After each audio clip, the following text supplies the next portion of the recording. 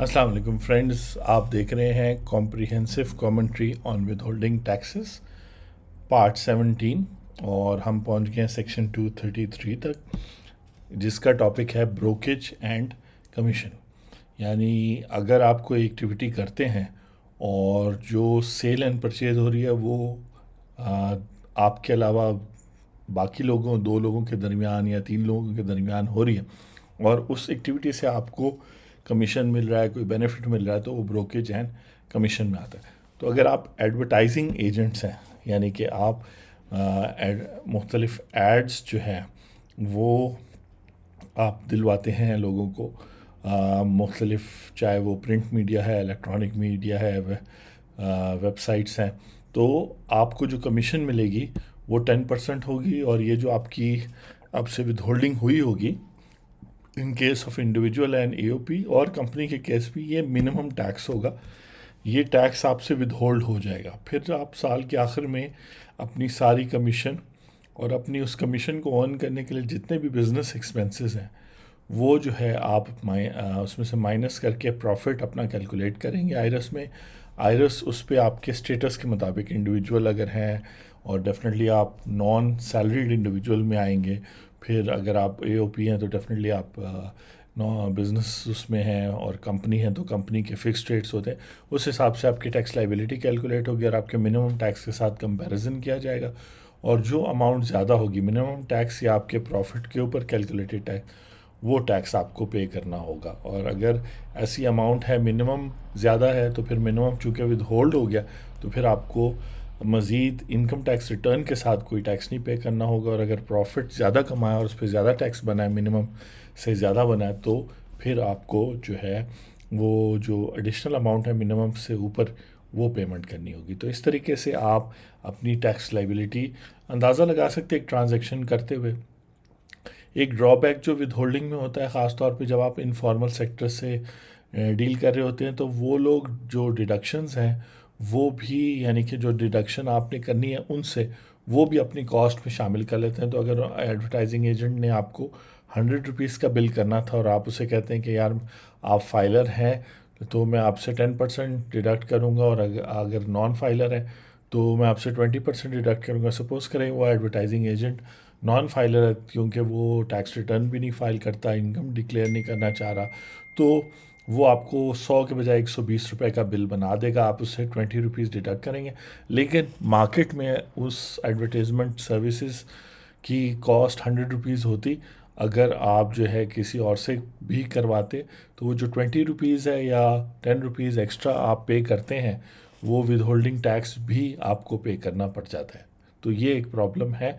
और ये प्रॉब्लम तब सॉल्व होगा जब ज़्यादा से ज़्यादा लोग जो है ना वो टैक्स नेट में आएँगे और पूरी जो सप्लाई चेन है किसी भी बिज़नेस की, वो सारे के सारे लोग जो है ना टैक्स नेट में होंगे। दूसरा सिनेरियो है कि लाइफ इंश्योरेंस एजेंट आप हैं और where commission is less than rupees point five million per annum तो आपसे एट परसेंट डिडक्शन होगी अगर आप जो है लाइफ इंश्योरेंस एजेंट हैं और फाइलर हैं। नॉन फाइलर है तो सिक्सटीन परसेंट अब अदर्स के केस में ट्वेल्व परसेंट है।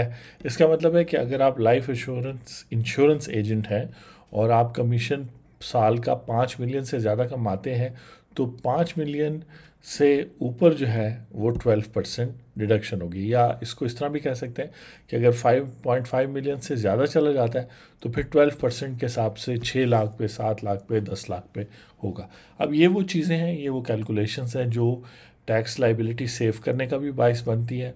और अगर इसमें क्लैरिटी ना हो, अगर क्लियर हो कि कितना अमाउंट चार्ज होना है तो फिर आप जो है ना वो है।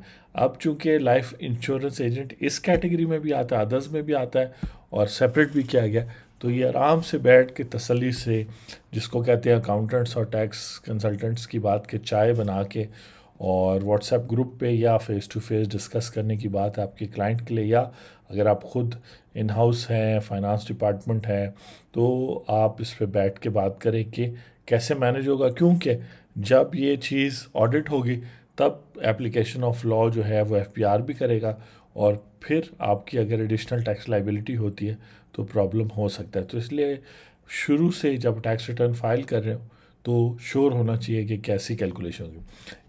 इसका ब्रोकेज एंड कमीशन का मतलब है कि कोई और सिनेरियो हो अदर देन एडवर्टीजमेंट एजेंट और लाइफ इंश्योरेंस एजेंट तो 12 परसेंट डिडक्शन होनी है। अगर जो है फाइलर है और नॉन फाइलर तो 24 परसेंट और ये मिनिमम टैक्स है हर केस में। और डिडक्शन कौन करेगा? प्रिंसिपल प्रिंसिपल का मतलब है कि वो शख्स जो आपको जिसको आप ये सर्विसेज़ दे रहे हैं, जिसके बिहाफ पे आप ये जो है ना एक्टिविटी परफॉर्म कर रहे हैं, जैसे अगर कोई जो है आप सेल कर रहे हैं, कोई प्लॉट है, कोई कमर्शियल बिल्डिंग है तो आपको अगर वो है तो आपका प्रिंसिपल जो है बायर और सेलर के पॉइंट ऑफ़ व्यू से जो है ना, ये बात बनेगी। तो इस तरीके से आप करेंगे इसको और नोट करें कि एडवर्टाइज एडवर्टाइजमेंट जो है, उसकी सर्विसेज़ अगर आप प्रोवाइड कर रहे हैं तो सेक्शन 153 में उसकी विद होल्डिंग कम है। इसी तरह एडवर्टीज़मेंट एजेंट भी यहाँ रेट रीजनेबल है तो हो सकता है एडवर्टीज़मेंट के साथ एफबीआर वालों का लगाव हो तो इस वजह से उन्होंने उनको टैक्स रेट्स कम किए। लेकिन जब प्रपोजल्स मांगे जाते हैं, इस दफ़ा बजट जब दोबारा बनना शुरू होगा फरवरी मार्च में एफबीआर प्रपोज़ल माँगता है तो कोई भी आ, मैं ख़ुद भी लाइफ टाइम मेंबर हूँ लाहौर टैक्स बार एसोसिएशन का उसके अलावा कराची टैक्स बार एसोसिएशन है पाकिस्तान टैक्स बार तो कराची बार और पाकिस्तान टैक्स बार के अलावा कोई भी एक्टिव नहीं है प्रपोजल्स देने में कि टैक्स रेट्स को क्या होना चाहिए कौन सी चीज़ कौन से प्रोसीजर्स जो हैं वो जेनवन टैक्स पेयर्स को प्रॉब्लम दे रहे हैं, वगैरह वगैरह। तो ये सारी चीज़ें जो है, फिर सिटीजन्स को टेकअप करने चाहिए और अगर आप टैक्स दोस्ती फोरम से करना चाहते हैं तो मोस्ट वेलकम हमें बताएँ। वीडियो में नीचे व्हाट्सएप नंबर दिया है, इस टॉपिक पे भी बात हो सकती है। नेक्स्ट है tax on motor vehicle tax यानी कि ये ऐसा टैक्स है जो किसी और टैक्स के ऊपर आपको टैक्स पे करना पड़ा है। तो इसको बेसिकली हम जो है टोकन टैक्स कहते हैं। और टोकन टैक्स जो आप गाड़ी का टोकन पे करते हैं एनुअली जब प्राइवेट मोटर व्हीकल्स का होगा तो उसकी इंजन कैपेसिटी के हिसाब से होगा और वो एडजस्टेबल होगा। और कलेक्शन मोटर व्हीकल कलेक्टिंग जो है ना collection of tax by any person collecting तो नॉर्मली कस्टम एंड एक्साइज वाले करते हैं। और ये बात हो रही है कि जब आप मोटर व्हीकल टैक्स पे करते हैं, जो जिसका अपना कानून है और उसके अंदर जो है आप प्रोफेशनल टैक्स भी पे करते हैं जो जिसका अपना कानून है, ये सब प्रोविंशियल टैक्सेस हैं और उसमें आप इनकम टैक्स भी पे करते हैं, जो फेडरल कानून है। तो जब भी हर साल आप अपनी गाड़ी का टोकन लगाएँगे या उसकी पेमेंट करेंगे तो उसमें एक सर्टन परसेंटेज होगी इंजन कैपेसिटी पे डिपेंड करते हैं। जो बाकी सिनेरियो है प्राइवेट मोटर व्हीकल तो कवर हो गया। अब वो जो गुड्स ट्रांसपोर्ट व्हीकल है उनका 2.5 पैसा पर किलो है, जितनी उस गाड़ी की कैपेसिटी है कि जितना वो वज़न पैसेंजर की सूरत में या गुड्स उठाने की सूरत में वो लेता है, उससे मल्टीप्लाई हो जाता है। इसके भी स्टैंडर्ड टेबल्स होते हैं और उस मुताबिक ये टैक्स विद होल्ड होगा ड्यूरिंग द ईयर उनसे और इसको वो फिर जो है अपनी रिटर्न में क्लेम कर सकें। नॉर्मली होता ही है कि जब जून ख़त्म होता है तो गवर्नमेंट फिर जुलाई टू सितंबर कहती है, वैसे तो सारा साल आप मोटर व्हीकल टैक्स पे कर सकते हैं, लेकिन आप फिर पेमेंट कर रहे हो तो उसी साल की जो है एडवांस में तो उसी में इनकम टैक्स कट जाता है तो फिर जब वो टैक्स ईयर ख़त्म होता है तो उसके बाद आप इस इनकम टैक्स को भी क्लेम कर सकते हैं। जब आप मोटर व्हीकल टैक्स एडवांस में पे कर रहे हैं तो फिर ये आप उसके बाद ये जो इसमें इनकम टैक्स पे हुआ है, वो आप टैक्स ईयर ख़त्म होने के बाद क्लेम कर लेते हैं। अच्छा जी in case of good transport vehicle ये सारा वेट दिया हुआ है।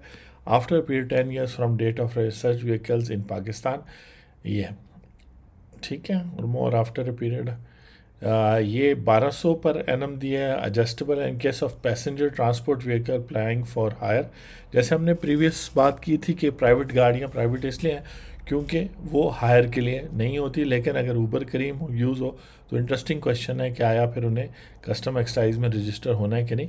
यहाँ पे बसेस वगैरह की बात हो रही है, उनकी भी सीटिंग कैपेसिटी के हिसाब से उन पर टैक्स है, ठीक है जी? तो ये हो गया, जिस टाइम आप अपनी गाड़ी जो आप यूज़ कर रहे हैं, अपने बिज़नेस में प्राइवेट गाड़ियाँ वगैरह यूज़ कर रहे हैं, वो जब करते हैं। अब अगर लीजिंग पे कोई गाड़ी ली हो या ट्रांसपोर्ट गुड्स ट्रांसपोर्ट व्हीकल हो, जैसे होती है, या पैसेंजर बसेस लीजिंग पे होती है तो फिर उसका ये टैक्स जो है बैंक से विदहोल्ड होगा या उस कंपनी से होगा जिसने लीज पर वो इन्वेस्टमेंट बैंक वगैरह ने दिया अब आते हैं सबसे कॉमन चीज़ पे इलेक्ट्रिसिटी कंजम्पशन लेकिन ये है इंडस्ट्रियल और कमर्शियल कंज्यूमर्स के लिए। और मंथली बिल जिनका अप टू 500 हो, फिर फाइव ये मुख्तलिफ़ कैटेगरी तो इसमें रेजिडेंशल नहीं आ रहे। तो इसमें कमर्शियल वो लोग होते हैं जो जैसे मुख्तलिफ़ मार्केट्स वगैरह हो गए और ऐसे लोग जो मैन्युफैक्चरिंग नहीं कर रहे और प्रोडक्शन नहीं कर रहे, वो सारे कमर्शियल कंज्यूमर्स होते हैं। इसमें वेयर हाउसेज वगैरह डिस्ट्रीब्यूटर रिटेलर्स भी आ सकते हैं। लेकिन जो लोग प्रोडक्शन वगैरह कर रहे हैं, वो इंडस्ट्रियल कंज्यूमर में आते हैं। अगर उनका पाँच सौ रुपये बिल आया जो पॉसिबल नहीं है तो उनको नील उनसे विद होल्ड होगा। अगर उनका 500 से बीस हज़ार के दरमियान आया, अगर तो सपोज़ करें दस हज़ार बिल आया तो टेन परसेंट होगा। वो मिनिमम होगा इंडिविजुअल और ए के लिए और एडजस्टेबल होगा कंपनी के लिए। अगर वो ट्वेंटी थाउज़ेंड से ज़्यादा है कमर्शियल कंज्यूमर्स के लिए तो फिर ये रेट बनेगा। वन थाउज़ेंड नाइन फिफ्टी लगेंगे, वो plus twelve percent of amount exceeding twenty thousand, ठीक है जी? और आगे देखिए, वो कहता है tax collected up to bill of three lakh sixty thousand shall be minimum how tax collected monthly bill over above thirty thousand per month shall be adjustable ठीक है? तो यहाँ उन्होंने अपने तरीके से कोशिश की है कि आपको हेल्प आउट करें, लेकिन यहाँ पर और ये जो सिनेरियो है, ये इंडिविजुअल्स और ए की बात हो रही है कंपनी के लिए तो ये एडजस्टेबल है। हम इसको सिंपल करते हैं कि पहले देख लें कि कमर्शियल कंज्यूमर और वो ट्वेंटी थाउज़ेंड से ऊपर बिल जब जाएगा तो जो है वो इस तरह करके पेमेंट करेंगे। वन थाउज़ेंड नाइन फिफ्टी जो है वो plus twelve percent twenty thousand से ऊपर जो जितनी भी अमाउंट जा रही है। अब डोमेस्टिक कंज्यूमर्स जो हैं, वो अगर एटीएल में शामिल नहीं है और ये चूँकि टैक्स कार्ड के पीएमजी का जो है सिक्सटीन नवंबर 2021 तक अपडेटेड है। आज रिकॉर्डिंग की डेट तो आज ये रिकॉर्ड हो रहा है ट्वेंटी फोर्थ नवंबर को। आप इसको दिसंबर के महीने में देख रहे होंगे इस वीडियो को। तो ये वो चीज़ है जिसकी बात होती रही है अभी नवंबर के स्टार्ट से कि डोमेस्टिक कंज्यूमर्स अगर उनका मीटर उनके नाम पे और वो एक्टिव टैक्स पेयर लिस्ट में नहीं आ रहे So 7.5 percent if the monthly bill exceeds rupees 25 thousand rupees अगर monthly bill twenty five thousand से ज़्यादा है तो फिर उनसे जो है ना सेवन पॉइंट फाइव परसेंट लिया जाएगा। और फिर धन अगेन अगर इधर आ जाएँ इस सिनेरियो में कि अगर आप कमर्शियल इंडस्ट्रियल या डोमेस्टिक कंज्यूमर हैं और tax collected up to bill amount of three lakh sixty shall be minimum तो थ्री लैख सिक्सटी थाउज़ेंड तक जब आपका बिल आएगा और उस पर जितना भी टैक्स बनेगा, बारह परसेंट के हिसाब से, पाँच परसेंट के हिसाब से सेवन पॉइंट फाइव परसेंट के हिसाब से तो वो मिनिमम टैक्स होगा। However tax collected on monthly bill over and above rupees thirty thousand per month shall be adjusted thirty thousand multiplied by twelve तो थ्री लैख सिक्सटी थाउज़ेंड बनता है। तो बीस हज़ार और तीस हज़ार के दरमियान जो आपसे ये बारह परसेंट अगर आप कमर्शियल हैं फाइव परसेंट अगर आप इंडस्ट्रियल हैं सेवन पॉइंट फाइव परसेंट अगर आप डोमेस्टिक कंज्यूमर हैं और ए टी एल पर आपका नाम नहीं आ रहा, और इस केस में पच्चीस और तीस हज़ार के दरमियान जो डिफरेंस है, वो तो मिनिमम टैक्स है, वो आपने पे करना है। उससे ऊपर वाला आप अपनी अदर इनकम्स के साथ एडजस्ट कर सकते हैं, क्योंकि याद रखें, ये बड़ी अजीब सी बात अगर आपने नोट नहीं की कि इलेक्ट्रिसिटी कंजम्पशन तो एक एक्सपेंस है, ये इनकम नहीं है। लेकिन इनकम टैक्स लॉ में इनकम की डेफिनेशन में वो एक्सपेंसेस भी इनकम कंसिडर होते हैं जिन पे विद होल्डिंग या एडवांस टैक्स डिडक्ट होता है। तो इसलिए ये भी इस वक्त एज एन इनकम ट्रीट हो रहा है, इसलिए इस पर डिडक्शन हो रही है। लेकिन ये जो मिनिमम टैक्स वाली बात है, ये क्वेश्चनेबल है कि आया एक एक्सपेंस जिसको आपने इनकम कंसिडर किया है, उस एक्सपेंस के ऊपर 20 और 30 के दरमियान जो अमाउंट है उसको आप मिनिमम कह के कंपलसरी लाइबिलिटी बना रहे हो, ये आया पॉसिबल है कि नहीं? तो ये courts of law honourable high courts और सुप्रीम कोर्ट बताएँगे कि ये चीज़ पूरी ओवरऑल टैक्स लॉ की स्कीम में आते कि नहीं? एडजस्टेबल जो उसके बाद जो अमाउंट्स एडजस्टेबल हैं, वो तो अंडरस्टैंडेबल हैं कि जस्ट बिकॉज़ लोग टैक्स छुपाते हैं इनकम छुपाते हैं तो वो लोग जो अच्छी खासी लाइफस्टाइल एंजॉय कर रहे हैं और उन्होंने अच्छी खासी इलेक्ट्रॉनिक्स घर में लगाए हैं और काफ़ी सारे लोग रहते हैं और काफ़ी सारी इनकम कमाते हैं और उनके सोर्सेज जो हैं वो डिस्क्लोज़ नहीं कर रहे टैक्स रिटर्न फ़ाइल नहीं कर तो उनको बिजली के बिलों के थ्रू पेमेंट जो है ना टैक्स की डिडक्शन हो तो एडजस्टेबल तो इसलिए ताकि अगर वो फाइलर बनना चाहें तो फिर वो ये सारी की सारी अमाउंट एडजस्ट कर लें। ये जो सिनेरियो है, ये बड़ा इंटरेस्टिंग है। और इसमें आप और मैं जितने लोग भी वीडियोस देख रहे हैं, क्योंकि इन वीडियोस को अकाउंटेंट्स भी देखते हैं रेगुलरली पूरे पाकिस्तान से लॉयर्स पूरे पाकिस्तान से डॉक्टर्स और डेंटिस्ट ने देखना शुरू किया है हेल्थ प्रोफेशनल्स इंजीनियर्स जो हैं अभी इंटरेस्टेड नहीं हैं हमारी वीडियोस में या अगर देखते भी हैं तो उन्होंने अभी तक रीच आउट या कोई कमेंट नहीं किया। अगर आप इंजीनियर हैं तो आप ज़रूर कमेंट करें। आर्किटेक्ट्स चूँकि सर्विस टैक्स सेल्स टैक्स के हवाले से भी तो वो भी देखते हैं। सबसे ज़्यादा देखने वाले आईटी प्रोफेशनल्स इस तरह हैं क्योंकि बहुत सारी वीडियोस भी बनी हैं। उसके अलावा ऑनलाइन टीचिंग और वगैरह से जब से हम करना शुरू हैं तो ट्यूटर्स और ट्रेनर्स भी जो है वो काफ़ी तादाद में देख रहे हैं। तो other person engage in the provision of services तो ये भी अब एक इंटरेस्टिंग है। कि ये इन्होंने कैसे कर दिया, हर एक को एक तरह से डाल दिया। वो कहते हैं professionals if not included in A T L and operating from residential premise having domestic electric connections including including का मतलब है कि हाँ ये जो लास्ट कैटेगरी डाली है, इसमें सब लोग आ जाएँगे। सारे प्रोफेशनल्स बेसिकली जो ए टी एल में भी नहीं है और घर से ऑपरेट कर रहे हैं, वो जो है ना, उनके वेयरिंग रेट्स होंगे फाइव से thirty five percent if the monthly bill exceeds rupees ten thousand और इसकी लॉजिक मैं आपको समझा दूँ कि ये जो रिस ये जो हुआ है और ये डिडक्शन कौन करेगा? पर्सन प्रिपेयरिंग इलेक्ट्रिसिटी बिल तो हमारे मुल्क में मुख्तलिफ़ डिस्ट्रीब्यूटर्स हैं इलेक्ट्रिक कंपनीज़ तो लेस्को लाहौर इलेक्ट्रिक सप्लाई और इस तरह फिर मुख्तलिफ़ सिटीज़ के अपने हैं। तो बात हो रही है कैसे लोग जो घर से काम कर रहे हैं, वो अकाउंटेंट्स हो सकते हैं और लॉयर्स हो सकते हैं, वो एटीएल में भी रजिस्टर नहीं हुए कि जी हम टैक्स रिटर्न हमारी एग्जाम्ट है बिलो टैक्सेबल है, या हम क्या रिटर्न फ़ाइल करें, वगैरह वगैरह। ठीक है ना? चाहे वो इंजीनियर्स हैं आर्किटेक्ट्स हैं, जो भी हैं। तो सर्विस प्रोवाइड करें। और हम अगर करेंगे तो फिर हमें सर्विस टैक्स में भी रजिस्टर होना पड़ेगा। जैसे हम comprehensive commentary on sales and service tax भी बना रहे हैं तो वहाँ आप देखेंगे बहुत सारी, ये सारी कैटेगरी वाले लोग जो हैं, इन सबको सर्विस टैक्स में मुख्तलिफ़ प्रोविंसेस में रजिस्टर होना चाहिए वो सिंध में है के पी में है, पंजाब में तो गवर्नमेंट ने कहा कि अच्छा अगर आपका बिल दस हज़ार पर मंथ आता है तो फिर तो आप जो है, आपकी इनकम एक लाख रुपए तक है और एक लाख रुपए में आजकल जो है एक लाख तो नहीं उन्होंने खैर कंसिडर किया। अगर आपका दस हज़ार बिजली का बिल आता है तो आपकी इनकम चार लाख पर ईयर से कम होगी। तो क्योंकि अगर पूरे साल का भी देखा जाए तो अगर आपका दस हज़ार से कम आता है सपोज़ करें कि नाइन थाउज़ेंड आता है तो आपका कोई एक लाख रुपए के करीब बिजली का बिल आ गया और फिर इसके अलावा एक दो लाख रुपए का खाना पीना हो गया और यानी कि आपकी जो इनकम है और ये चूँकि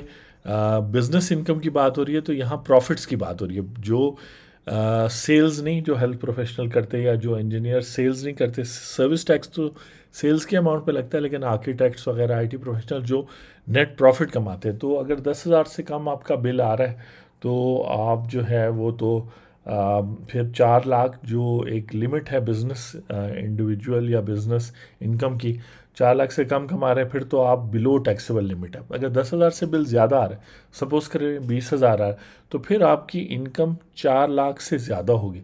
अगर चार लाख से ज़्यादा है तो फिर कितनी तो तकरीबन उन्होंने एस्टिमेट किया छः लाख के दरमियान होगी तो चार लाख और छः लाख के दरमियान पाँच परसेंट जो है, वो दो लाख पर पाँच परसेंट बनता है तो उन्होंने एक तरह से आपकी इनकम कैलकुलेट करके आपकी इलेक्ट्रिसिटी बिल में आपका टैक्स डाल दिया। बेशक आप शायद छः लाख ना कमा रहे हो, लेकिन अगर आपका बिजली का बिल ज़्यादा आ रहा है और बिजली के रेट्स हर रोज़ बढ़ते भी जाते हैं।